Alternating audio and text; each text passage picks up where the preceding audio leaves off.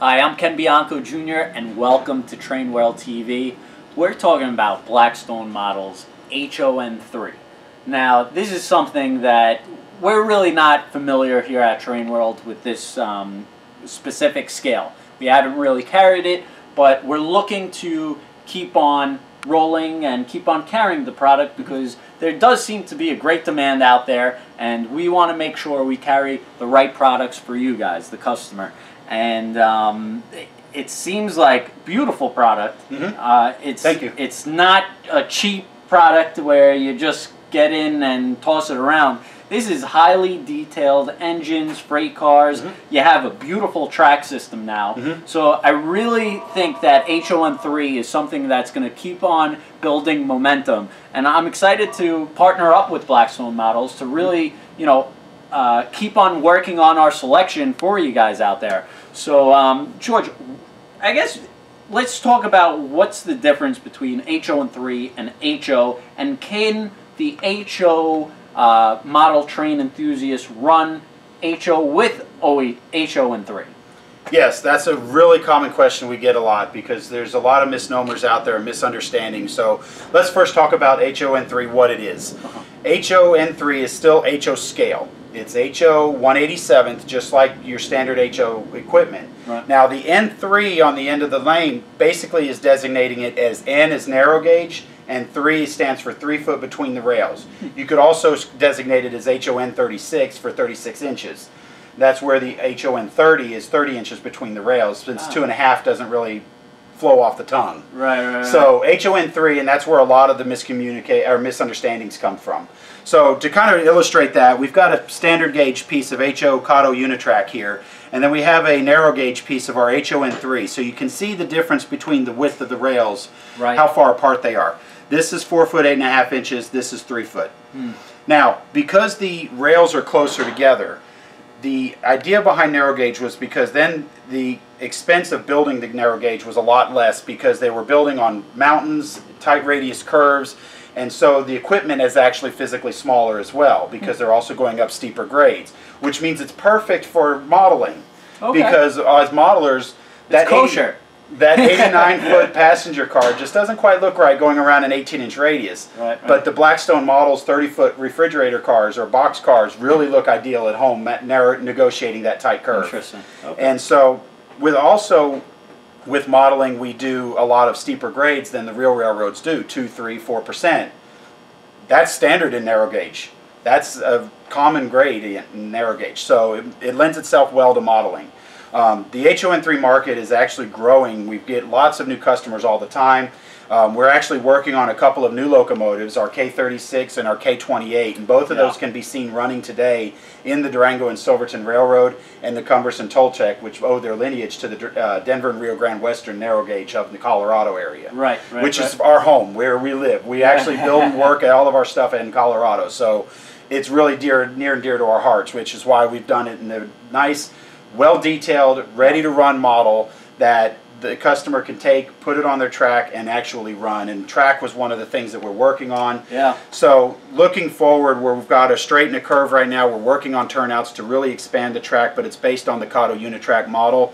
So we know it's a very proven, reliable system. Yeah, I mean the track is just gorgeous. Um, we sell a ton of it in HO, and now to have a similar type track in HO and three snaps together quick, Mhm. easy. Um, I mean, I mean, someone could really get into this with without a problem. Yeah. it's um, And the discerning modeler can really enjoy it because we pack a lot of detail into it. For example, the locomotive we have here on the table uh, is part of our C19 locomotive build that we did a few years back. We do still have a lot of these locomotives here uh, because we did overorder to make sure they were available. But the uniqueness of this one was as this locomotive represents before the 1925 rebuild. okay. And so as a consolidation, these were actually known as Class 70s. Wow. And so we pack a lot of that detail and we pay attention to that and we try to model the locomotive as accurately as possible. And to address your other question you had, we talked about adding it into an HO uh, layout. Right, right. It's right at home next to a standard gauge layout because in the old days, labor was cheap. And so a lot of times, because the narrow gauge couldn't be going all over the country, they would actually park tracks of HO narrow gauge, I mean of narrow gauge next to the standard gauge, and they would manually unload the cars into the standard gauge cars for delivery around the world and vice versa. Huh. And so, if you have a nice big HO empire, then you could have a small section to implement to, and it can be a universal industry because now any black, any of the uh, narrow gauge cars that you run in, you would then have a similar car in standard gauge that can run up next to it, and they would just manually load it back and forth. Right, right, right, right. So it really lends itself well to adding into any layout uh, in HO scale, or because we talked about it, ideal for modeling, you can do a nice modeled uh, HON3 layout with mountainous scenery, tunnels, trees, everything, and it really, really lends itself well. And then on top of it, one of the biggest hurdles we had was a lot of the narrow gauge stuff available before Blackstone models came along. It didn't necessarily run well. It was it took a lot of tinkering with it, and that's one of our goals with Blackstone was to make sure that it was very, very reliable, ran well, because nothing's more frustrating than getting something, taking it out, and putting it in, it doesn't run well. That's the whole point is Right. running your trains. And so we've done that. And so we've got some of the freest rolling trucks in the industry on our freight cars. We've got some of the best drive lines and mechanisms in the locomotives. We also include our sound system from SoundTraxx included in the locomotives. And so because of this, there's been a lot of built up demand and, and it's growing as people more and more Yeah. discover it. And so that's why it's important. We mentioned the locomotives, the K36 and the K28 that we're in the process of working on right now to try to get those out, that you get your pre-orders in Yeah. with Ken here at Train World. So Yeah, make sure you get those pre-orders in because a lot of dealers out there and manufacturers base the pre-orders about demand. So if the demand isn't there, a manufacturer may not produce it or a dealer may not stock up on it. So make sure you get your pre-orders in and you know, we promise, you know, I'm sure many of you guys have pre-ordered from us before. You just uh, submit the order. We don't charge anything. You know, you just place the order and you know, when it when we get it in, we'll give you a call. We'll let you know that uh, we'll ship it out, and then we'll charge you at that point. So it's a very great pre-order system that we have. We don't charge you up front, which is nice to know. And you know, make sure you get the pre-orders in because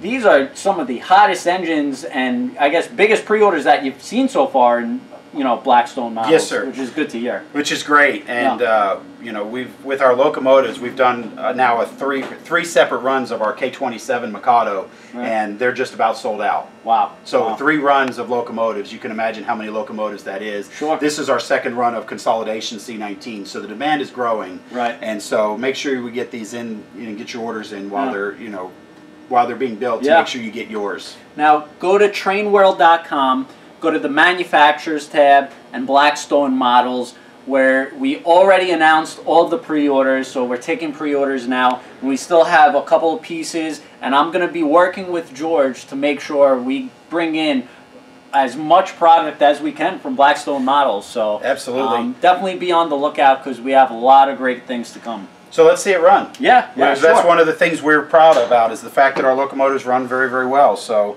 let's take a quick tour around this small simulated or layout here.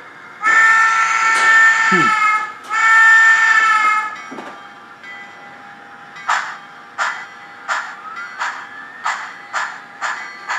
And one of the things we do have is we do have an optical driven cam on the C19 to guarantee that you're getting the four chuffs per revolution every time. wow I'm assuming you're using a SoundTraxx decoder Of course. Nothing but the best. That's it. Wow, very cool. So this is a very realistic speed for a narrow gauge. So then now the layout that always seems too small now doesn't seem as big because your locomotive and your train is running slower. right. Look at the detail, just unbelievable on the freight cars alone. It's just uh, very highly detailed stuff. Beautiful. Yep, we try to put everything in there. Uh, we try to make them as unique as the individual road numbers themselves.